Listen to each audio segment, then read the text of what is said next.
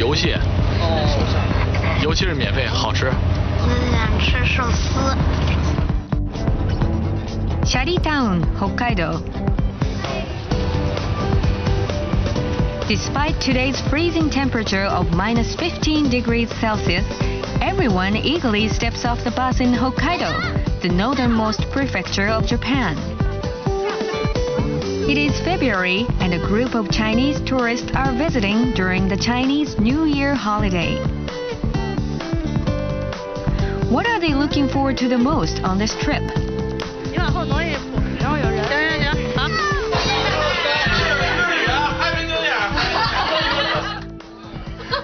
This poster seems to hold the answer. Last winter, the Chinese movie If You Are the One was a big hit in China. This tour visits locations where the movie was shot. That's not all. They will also enjoy the fresh seafood of Hokkaido. The tourists are captivated by the crabs, which they are seeing for the first time. All of the blue king crab in season is gone in just 10 minutes. Although tourists visiting Hokkaido are decreasing due to the downturn of the global economy, the number of Chinese tourists continues to increase. やはり昨年はもう同等においてはやはりゼロという数字がほとんどだったんですが、やはりあの映画の関係以降増えましてですね、えー、もう4000、5000という数になっておりますね。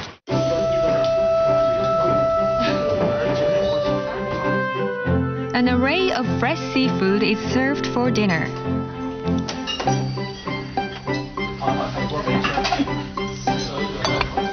It's their first real cuisine of Hokkaido. 对，很鲜。嗯菜都挺精致的，对嗯，一个一个挺精致，然后米饭也挺好吃，健康饮食，没有煎炒烹炸，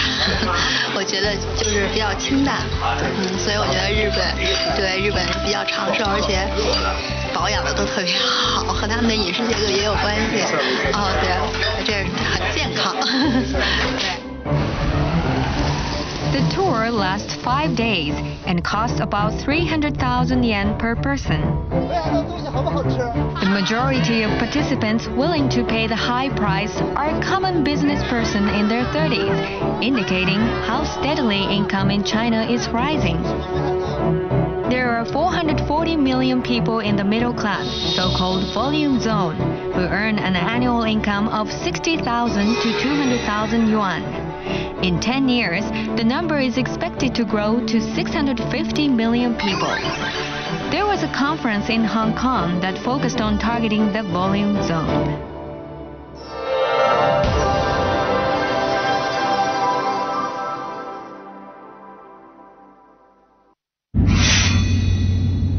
The symposium started off by watching this video. Japanese food is very popular here, and many Japanese restaurants can be found along the street.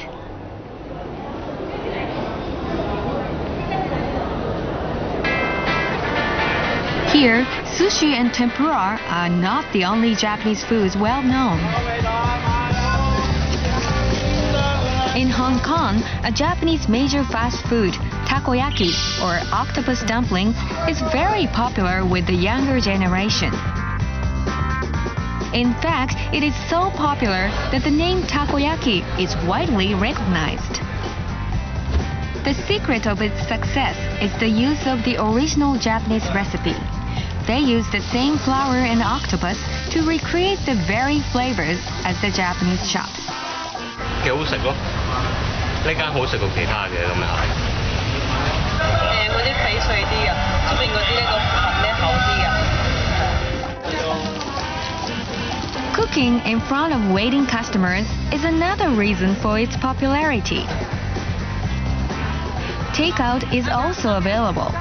A common service in Japan is a new trend in Hong Kong. 誒都會嘅，睇佢哋燒好過癮啦，即係。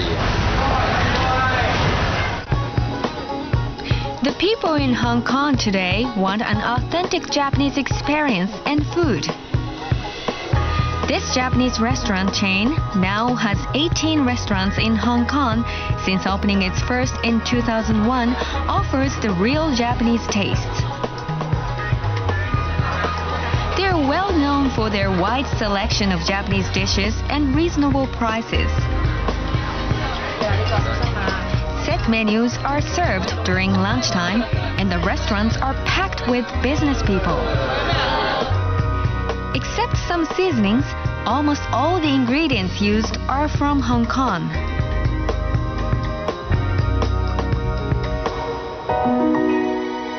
There is a cooking manual for every dish.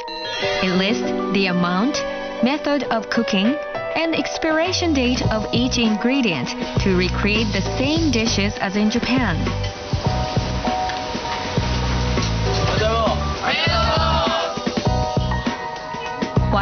Food is the same as Japan, the interior decoration is more chic. It offers a modern Japanese dining experience to Hong Kong customers. The volume zone continues to expand due to steady economic growth. The total population now reaches 880 million. What steps should Japanese restaurant owners take to further penetrate this market?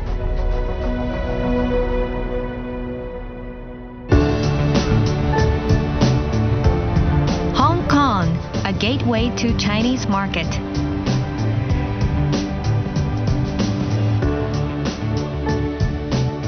The participants of the symposium held in March 2010 discussed advanced case of Thailand and China. え皆さんこんにちは、えー日本食はですね今やもう世界中に普及しています。えそこで、まあ、この質をですねさらに高めようという国際的な会合がこの香港でえ開かれました。さて今日の話し合いなんですけどもまあ、中国で、えー質のいい日本食をですね普及していくためにはどんな食材が喜ば喜ばれるんだろうかそれからどんな工夫が必要なんだろうかまあこういったことについてですねこれから壇上にいらっしゃる専門家の方々にいろんなご意見を伺っていきたいというふうに思います。あの北海道っていうのはあの、まあ、日本全体ではあの水産物の水揚げ、え世界で6番目なんですけども、そのうち北海道だけでもその4分の1は水揚げしております、で非常にあの鮮度のいい、えー魚を揚げている北海道地区でございます、で北海道漁連というのはこの水揚げをする漁業者の約2万人おりましてえーそのお方々が作る協同組合の連合会としてこの北海道で水揚げされる魚をあー流通するという仕事に今携わっているということでございます、はい。あの海外の方の日本食のニーズとあとあの日本のなんだろう文化に関する関心がますます高まってるんだなっていうことを感じました、なるほどね到日本来的话，他们还是来感受一下日本的文化。这个文化中间呢有两种，一种就是那个日本的文化，还有一个日本的那个那个吃的文化、食文化，他是来感受这两种。所以他们现在的那个，不管是那个收入多少，他们只要有机会的话，他们都希望能到日本来，亲手来感受一下 日本的各种各样的东西。ますます自信を持って、えーそのままの日本の味を持って、えー今度は、えー大きなマーケットであります中国本土の方で、えーぜひぜひぜひまた出店を試みたいとこんなふうに思っております。はい、ありがとうございました。ますます闘志を燃やすという感じですかね。えー、とそれではですね、まあ、あの今の映像なんかも踏まえて少しこれからですねこの東アジアのねその日本食事情といいますかこれからのまあ可能性みたいなものも入れてですね少しご意見を伺っていきたいと思うんですが先出さんはあの北海道からね、まあ、だいぶ輸出をに力を入れてやっておられるわけですけどで今のその一番のその目玉は何ですか？ここ数年で言えば、まあ、最近ですけどもあの冷凍のホタテですね、やっぱりホタテ製品が北海道からはこの東地区中心に一番多いんじゃないかなと思ってますし、あのまあ、量販店さんそれから外食産業も含めましてあの北海道のホタテがえー相当増えてきてるなという感じはしております、はい、何しろほ香港っていうのはもう一番日本からの輸出先としては一番なんですよね、一番でしょうね。第一位なんですよね、そうですね。ええ。あの周さんはそのお店をやっていて、そのいわゆるまあ、えー強み日本食の強みって言いますかどんなふうに思われます？啊，我们店就是说那个日本的那个，首先我们讲一讲，就是说我们那个公集团为什么要到日本来开一个店？因为我们的公司呢，包括我们的公司的主要领导，他们都认为，在日本的话呢，一个它的材料是非常的好，而且的话，这很多在中华料理中间非常高级的材料都是来自那个北海道。刚才提到的就是呃干的干贝啊，其实还有北海道的海参啊，北海道的那个干的鲍鱼啊，那个包括还有很多很多就是新鲜的也好，就是说水产这方面的东西有很多都是日本是应该说是做那个中华料理是最好的一一个材料，这是一个。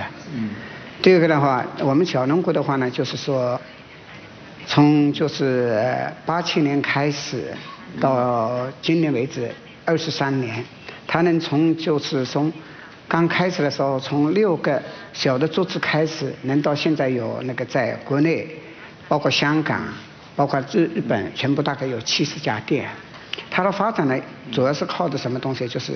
我们的呢，就是说，一个是材料的关把得很好，第二个的话呢，就是说还有在管理上面，所以呢，所以这两点，我们呢就是说始终是沿着这个来，所以说我们呢小农国的话呢，今后的发展会越来越快。ああそうですか、うん、あの高田さんはですね、まあ、さっき香港で18店舗ということでしたけども一番その人気のね、まあ、メニューっていうかですねこれどういうものなんですか？人気のメニューとしましては、うん。例えばあの和風ピザっていうものがありましてでこれはあの薄いピザなんですけど、そこにあのチキンの照り焼き、まあええこれが日本風なんですが、えそういうのを乗っけて、まあ、あのお出ししているっていうのがありまして、でその他にはあのヒレカツの卵とじなんですが、うん。これはあのお客様のテーブルの上で要は卵とヒレカツ持ってきて、ええ。そこであのコンロであの茹でながらお客様にこう卵をこうやってあの閉じて出すんですよっていうのを説明しながらやるんですが、うん。まあ、こういったメニューなんかが非常に人気がありますね、うん、あそうですか、まあ、当然あの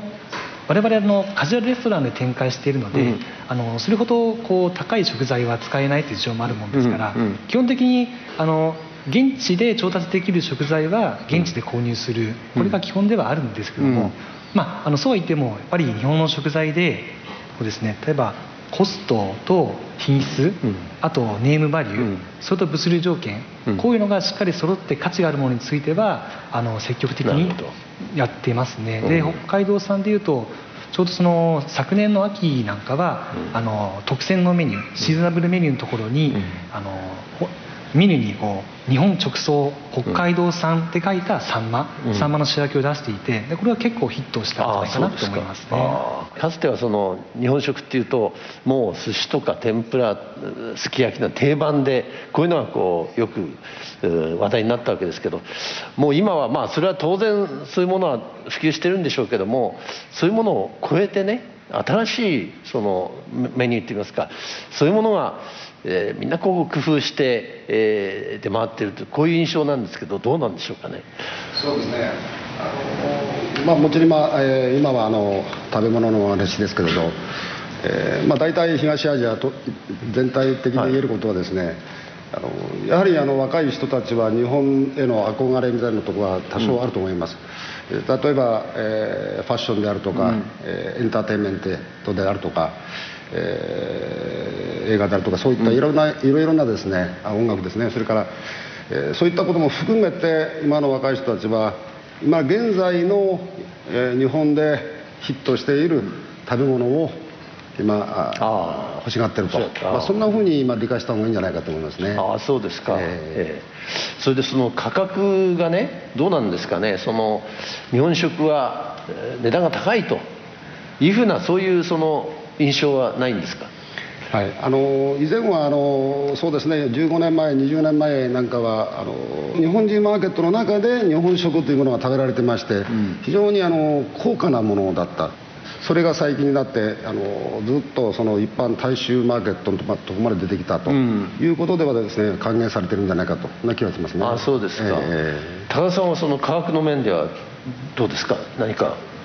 工夫してるってことかそうですねあの例えば友達同士で今日ちょっとおしゃべりをしようであるとかあと恋人があのデートをしたい。でこういう場面の時に我々の少しだけ贅沢ちょっと贅沢な、あのまあ、豪華な食事を楽しみたい、うん、こういう動機をあの捉えてあのいただけるようなお店の設定にしてます。と、うん、いうことは客単価のまあイメージなんですけども例えば20代の若い男の子がいて、うん、で今日はちょっとあのデートに誘いたいと女の子。を、でそれで食事をおごって満足させてあげて、でもあんまりその人の財布が痛まないレベル、香港だったら大体2人でおごってまあ、200ドル、まあ、300ドルは絶対いかないだろうと、うん、こういうリーズナブルな価格設定にしています、うん、ああなるほどあの先出さんはね、まあ、輸出はもちろんあの力を入れておられるんでしょうけどそういう食材だけじゃなくて何かそのメニューのね提案みたいなこともやってらっしゃるんですか？やはり我々としてもあの今っぱり消費者の方々にどういう食べ方をしたら美味しいのかと、うん、こういうことを提案していかなければ、えー、増えていかないと思ってますから、うん、えー、そういう面ではこれから取り組む段階ですね、うん、今現在ではあの干し貝柱を、うん、のメニュー提案という形でもって、えー、そういうリーフレットを作りましてね、今やってます。周さんはその今日本食のねイメージとしてその値段だとか値段であるとかまあ、いろんなその、えー、まあ、その造作についてですねどんな今一番強い印象はどういう点ですか？就是刚才几位有提到的，就是说现在能到那个这种店去的话呢，大部分都是应该是年轻人吧。从他们的收入来讲，应该说他们也那个一个月去个两次到三次也能接受吧。这一个，第二个的话呢，我认为刚才大家提到的。其实这种新的那个料理也好，什么东西，其实也是一种发现，也是一种挑战吧。他们会对新的东西，要知道是一种什，到底是一种什么东西，他们也是利用这样的机会，所以到到这种店里去去享受一下。再有的话呢，我总觉得就是说，他每一家店的他的，不管他的店的规模大小，他的装修，他的氛围，他其实里面包含着这个国家的很多的文化隐藏在这个里面。啊。なるほどね非常に今面白いご指摘をいただいたんですが、まあ、日本的なね文化日本らしさ でこういうものをまあ求めていくというお話だったんですけど高田さんもあれですか、まあ、味とかね、まあ、メニューはもちろんなんですけどそれ以外に先ほど、まあ、デートの場をねそうやってうまく提供するとか、まあ、そんなふうなお話がありましたけどそういう点についてはやっぱりかなり気をつけておられます？私もレストランとしてあの当然料理もあって、うん。内装もあって、うん、そういう雰囲気の中であのお客様に何を感じていただくか、うん、ということをあのいろいろ考えてるんですけどで内装なんかはあの、まあ、あのモダンな和でスタイリッシュな内装をしながら、うん、でそれであの音楽もこれはあの日本の最新のポップミュージックを絶えず流すようにしてるんですけど、まあ、こういった雰囲気がある。でスタッフもあの、まあ、フレンドリーなサービスを接してくれる、こういった場を提供することが私たちの成功の鍵だというふうに考えております。我々は北海道の水産物をどのようにあのさらに消費者に近いところまで届けるかっていう時にですね、やはりそのきっかけがあの今、えー、このような日本食レストランをきっかけにしてね、うん、えー、さらにこの東アジアから東南アジア地区にかけて、えー、伸ばしていくに、うん、なんて言うんでしょうチャンスになるのかなという気がしましたね、うん、こういうようなあの我々から今まで、えー、聞いてる中ではこの日本食レストランっていうのはやはり当地に行けば、うん、当地の料理風にこう味が変わってしまってるのは多いんじゃないかなというのは非常にあったんですけども、うん、えー、今のお話聞くとですねやはり日本のそのものを、うん、えー、こう、えー、消費者の方々に、あのー、感じていただくということを聞きましたんでね、やっぱそこら辺をポイントに我々北海道の水産物をまあさらに輸出していきたいなという感じは、えー、大いにしました。えーいやあのこのここまでの話でね非常にあの印象的でしたのはやっぱりまあ日本食を輸出する売るという場合で、まあ、味とかねそれからもちろんメニューは大事なんだけども、まあ、それに加えてですね、まあ日本らしさを売ると日本をまあ言ってみれば売るんだというようなその発想といいますか姿勢がね非常に大事なんだというそういうご指摘は非常にあの私にとってもあの興味が、まあ、多分会場の方々もですねおそらく共感しておられる方多いのではないかというふうに思います。さてそこでですね次のコーナーでは今のその日本を売るという日本らしさを売るというそのまあ言ってみれば代表選手のように活躍をしてこられた後藤さんのねその仕事ぶりをちょっと VTR でご覧いただいてまたそれをきっかけにして少しお話を広めていきたいというふうに思います Here in Bangkok there is a popular ramen or Japanese soup noodle whose franchise has been successful in opening 88 shops in Thailand In Japan, there are 157 shops, most of them in the Hokuriku area. The shop was named Hachiban, meaning 8th, after the first shop opened along Route 8. So, how did a small ramen shop become so successful in Thailand? This is the owner, Mr. Shiro Goto. He opened his first ramen shop in Bangkok in 1992. Thailand is a noodle nation where eating noodles three times a day is common. Mr. Goto introduced Japanese ramen in a country where a bowl of soup noodles costs only about 20 baht. Thai noodle combine noodles made from rice flour and soup made from a light broth. It is quite different from Japanese ramen. The odds were against Mr. Goto's when he first started. もうオープンの日お客さんが入ってくるかどうかっていうのはもう僕はもう逃げたくなったのを覚えてます Back then, there were other ramen shops, but they targeted only the expatriates from Japan and the more affluent citizens. One bowl cost more than 500 bahts. Mr. Goto's main concern was pricing. How much would people in Thailand be willing to pay for a bowl of ramen? Mr. Goto found out how much Thai customers spent at foreign fast food restaurants on average. He also looked at the prices of daily items to come up with an answer. He finally set the price of his signature ramen at 45 bahts. How was he able to generate profit at such a low price? The key to his success was a factory just outside of Bangkok. This is Hachiban Ramen Central Kitchen. It is a food processing factory that was built six years ago. Here, all the ingredients used in every shop in Thailand, such as noodles, roasted pork, chopped vegetables, and dumplings, are processed.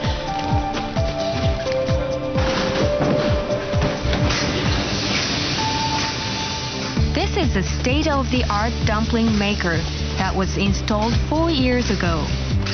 One machine makes 45,000 frozen dumplings per day.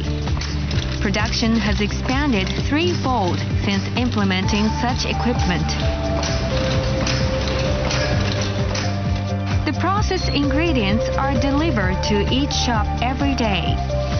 Many types of ramen are made by simply heating the ingredients and placing toppings over the noodles. The price can lower, but not the quality. Mr. Goto came to believe this after a certain incident. In the third year since he began Hachiban in Bangkok, sales of one of a restaurant started falling rapidly. 僕びっくりしましてもう飛んできたんですねタイの人たちは 熱いものを食べないんですだから熱いもう夫婦言って食べるってことはしないんです。ぬるいものを食べるんです。ぬるいラーメンになってたんです。それで僕はダメだと。今の日本の食の文化を楽しを食べに生きてるんだと。これはもう日本と同じ熱いラーメンを売ってほしいと。言うてそれを我慢してやってたら売り上げが伸びていたんです。Goto's vision for the Asian market is only expanding.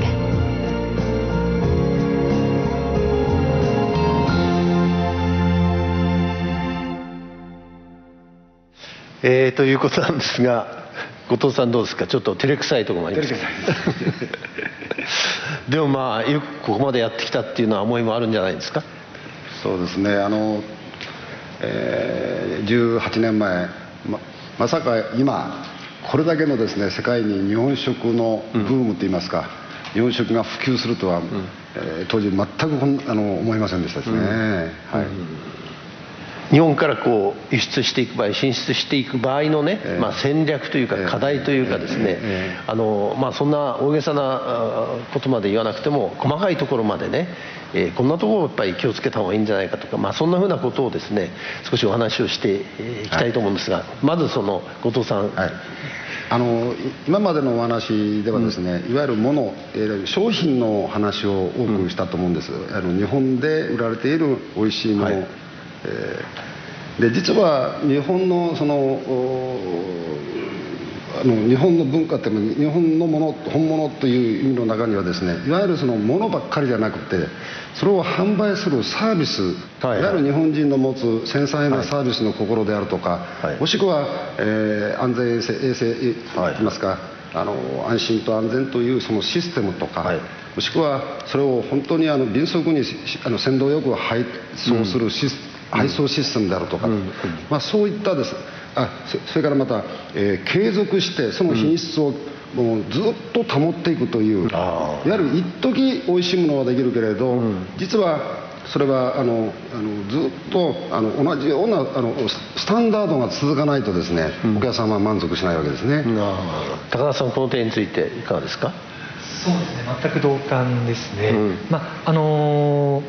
その品質を維持するサービスの質を維持する、うん、まあ、システムというか仕組み。おそらくこれは日本のいろんなチェーンストアの方が独自に自分たちでやってらっしゃると思うんですけど、うん、それをそのまま海外でも妥協なくやり抜くのか、うん、それともそこがあの何かの妥協がいろんな入ったことによって少しこう一個一個ずつこうあの違ったことが起きていて、うん、気づいたら全く違うものになっていたとか、うん、こういったところにこの継続してあのやっていけるかどうかの差が出てくるんじゃないかなというのは常々感じています。それからあの後藤さんねやっぱりこう海外で仕事を始める場合にはこう提携先ねやっぱりどういうところとこう提携していくかっていうのも課題ですよね。そうですね。あの私たちのまあえー、いわゆる自動車工業であるとか、えー、電気部品であるとか、うん、これはですねもう機械とシスあの、うん、そういうシステムがきっちりあればですね、うん、えー、設計図があればあのどこの国でも結構できるっていうのがあると思うんですけど、我々どうしてもやっぱり装置産業といいますか手で、あの日本人間の手で美味しさを醸し出すっていう部分がありましてね、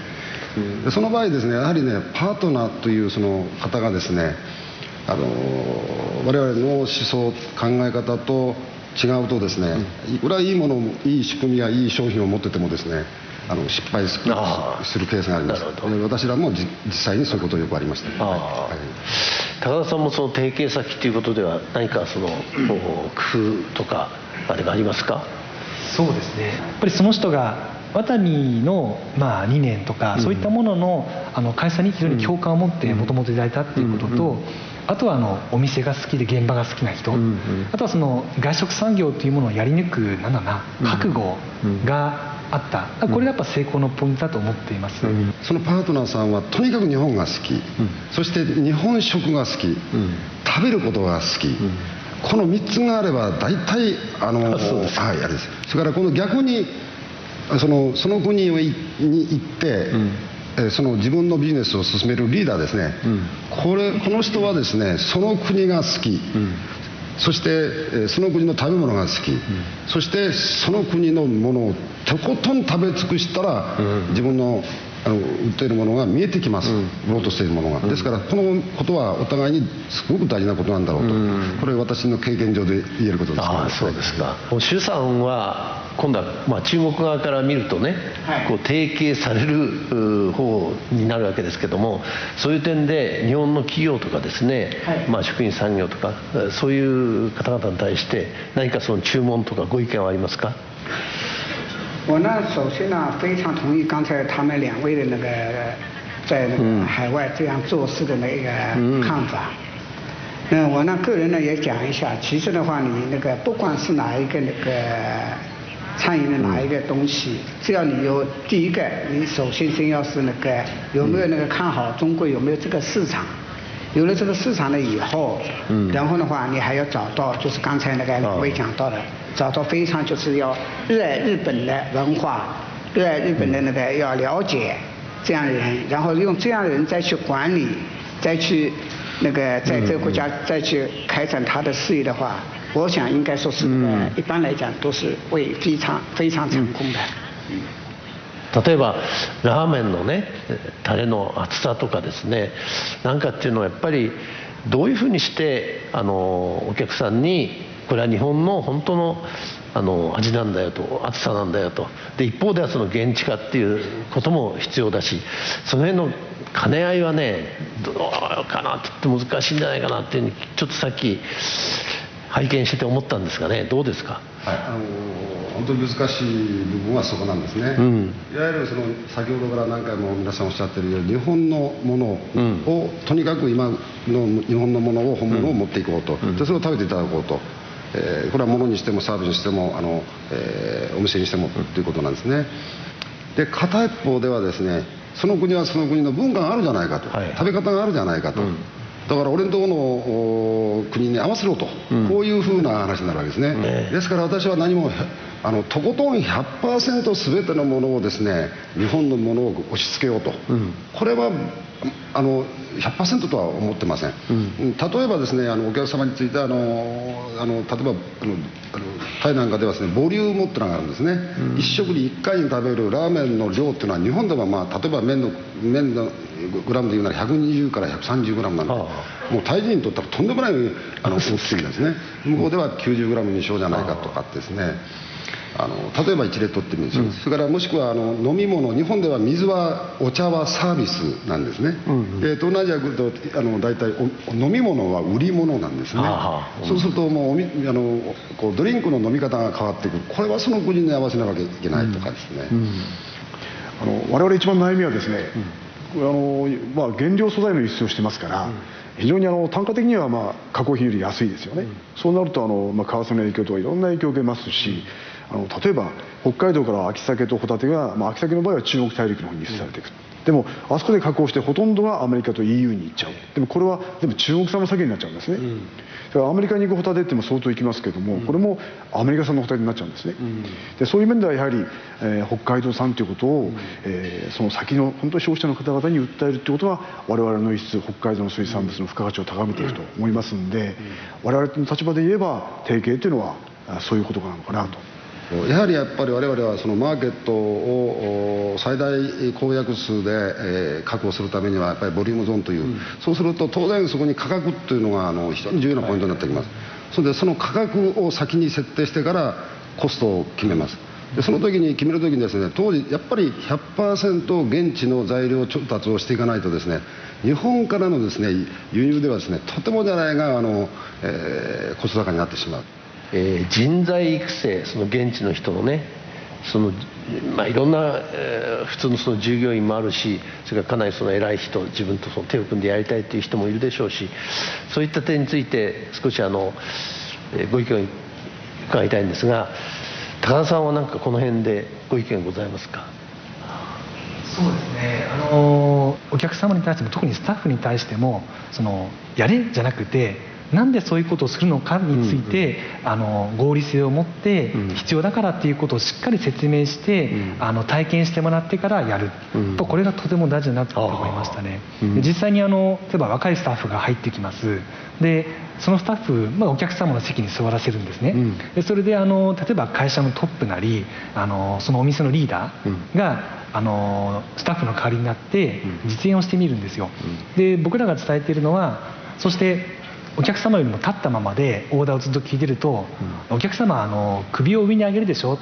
でそうすると あのずっとオーダー気づきてるとお客様は首疲れてしまうよね、うん、であるとかあの店内いろんな音がやっぱりあってあの活気があるんだけどもあのお客様に近づいていかないとそのオーダーを聞き間違いを起こしたかもしれないよね、君だったらどう思う、ということをこう繰り返し繰り返し伝えていくんですけども、こういう言い方をすることによってあのスタッフのこうなんだろう腹に落ちると言いますか、でそこで初めてあそうなんだ、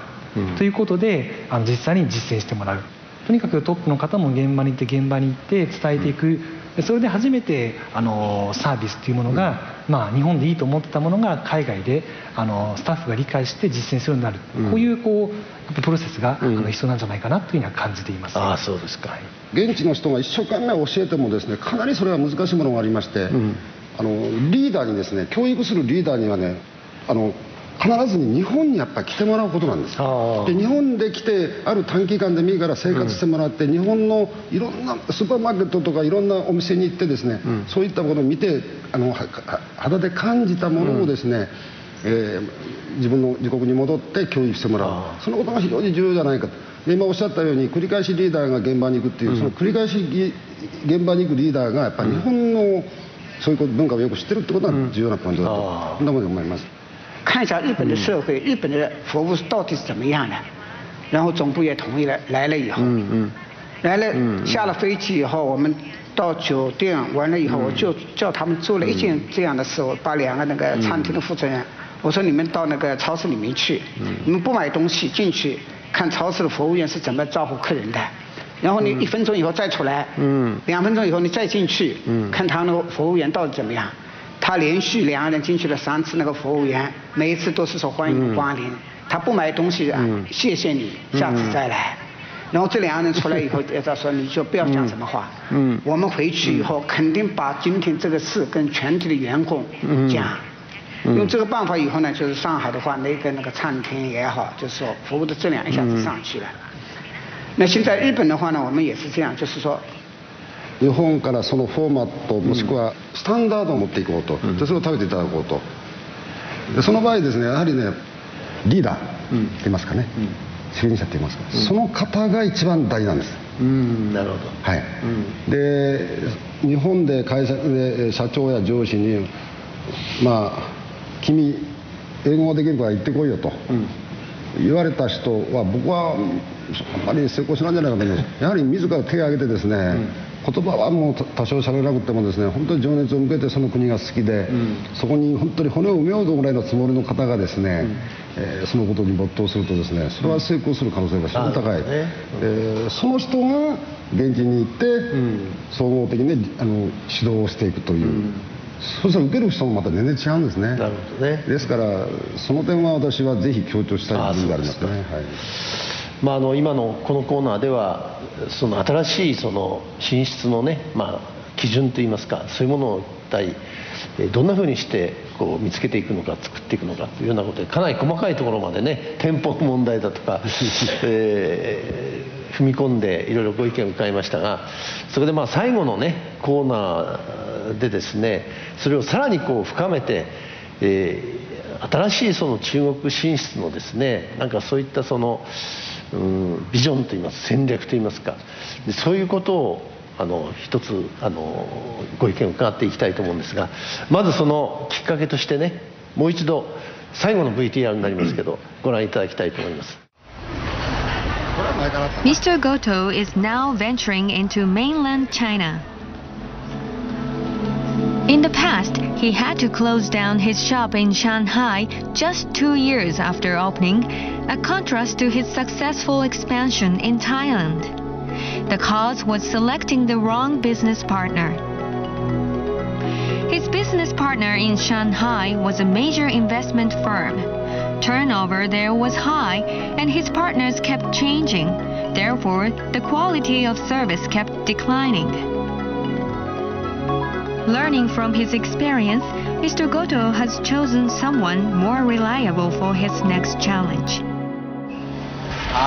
This is Mr. Stephen Ngai. He established a joint venture as Mr. Goto's partner. Business has grown, and there are now eight shops in Hong Kong. Mr. Ngai's family used to manage a Chinese restaurant which went out of business due to the SARS pandemic in 2002.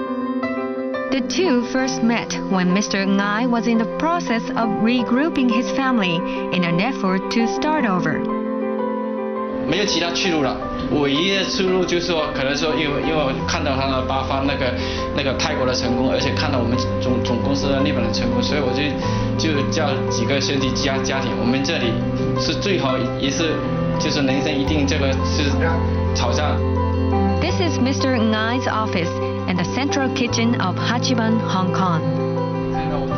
Appointing family members at executive level positions has sped up the decision making process,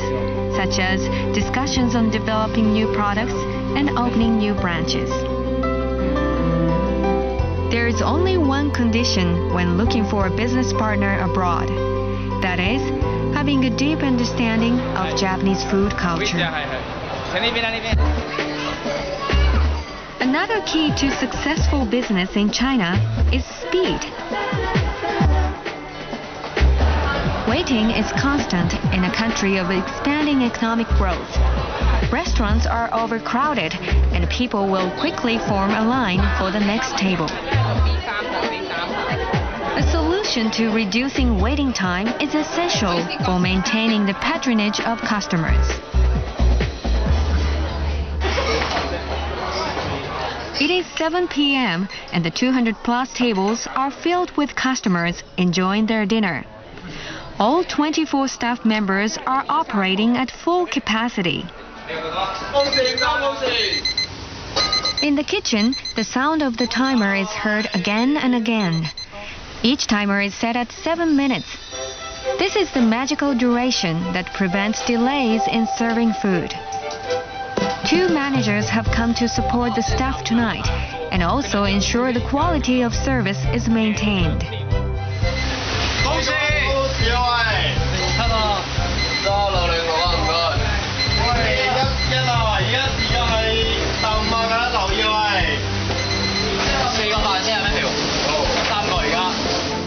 They make sure that the waiting time is kept at a minimum and check the presentations and taste of the dishes.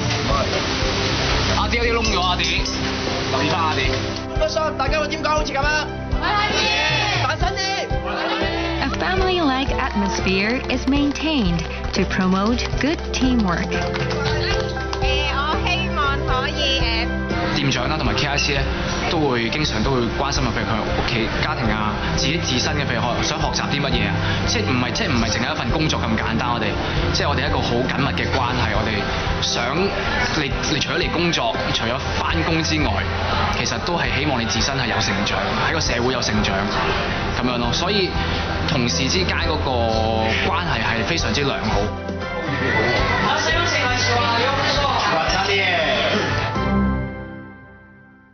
えーこの映像のキーワードはね、まあ、今日と短と言いますかね。今日は友。それから短は短い短縮という、まあ、この2つだと思うんですがその最初に今日の方友の方ですね。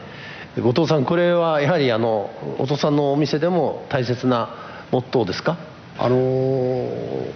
基本的にはあのもう社員というシステムで、あのやらないとですね、えー日本日本日本の場合もですね本来アルバイトは使いたくないんですよ。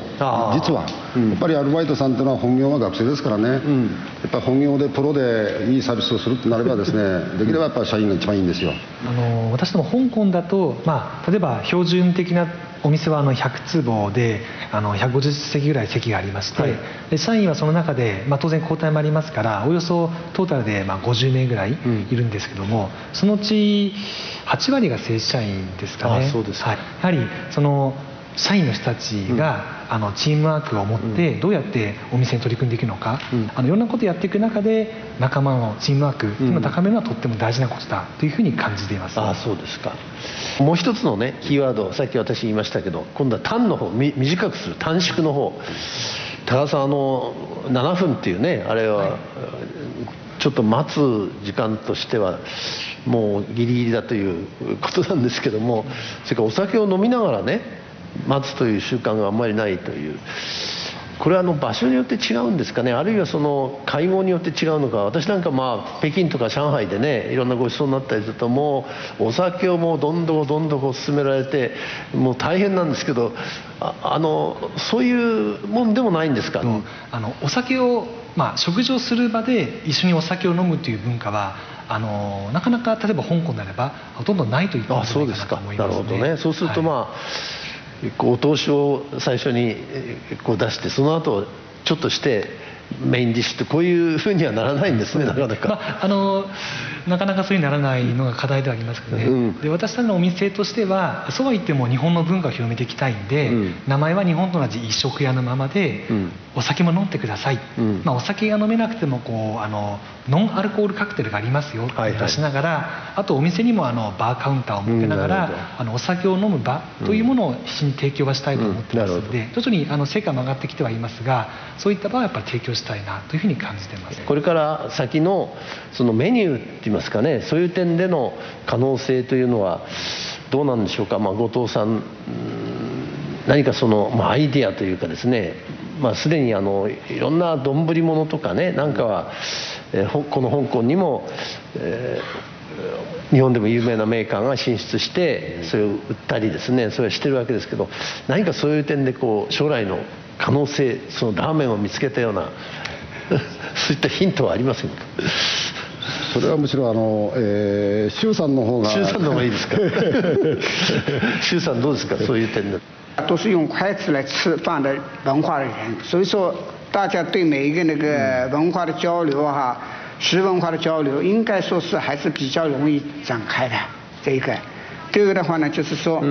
要让更多的那个国外的人知道那个日本的东西，其实可以从两个方面。 刚才我简单的提到了就是利用，就是说那个。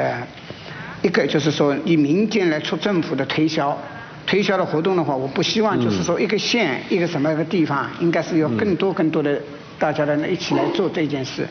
第二个的话呢，就是说那个。就是说，让旅行社其实也是可以来帮这方面做一个推销推销的工作。嗯。这样的话呢，我认为的就是说，日本的这个东西在国外的推销的话，是否是那个途径啊，各方面的方法、方式的话，还可以要快一点。嗯。でまあいろいろ今まで、えーこの戦略とかですね課題についてご意見を伺ってまいりました